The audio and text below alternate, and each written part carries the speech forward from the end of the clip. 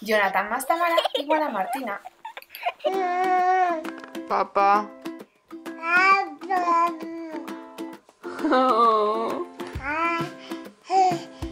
Se os ha ido papá. No, tu primera palabra tenía que haber sido mamá.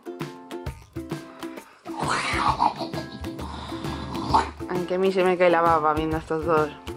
Martín, me voy. Adiós. Adiós. Adiós.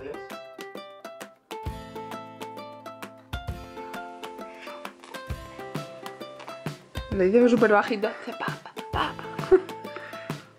Esa voz tan dulcecita que tiene. Con su papa. Para muchos de vosotros el 6 de agosto será recordado como un día normal y corriente y pasará desapercibido, pero para nosotros será el día en el que Martina dijo su primera palabra, que fue papá. Gracias por compartirlo con nosotros.